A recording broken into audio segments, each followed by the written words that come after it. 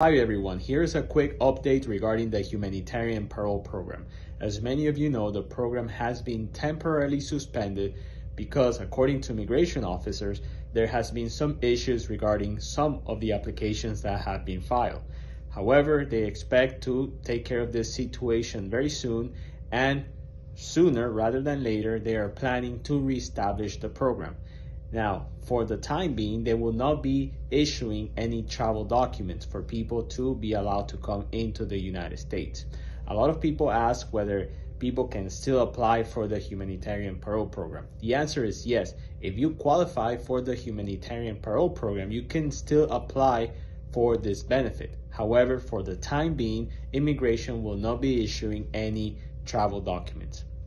Likewise, a lot of people often ask whether someone who already has a travel document could use it to come to the United States. And the answer is yes. If you have an approved travel document based on a humanitarian parole program, then you are allowed to use that travel document already issued by immigration despite the current suspension and try to obtain a parole in order to be properly admitted into the United States.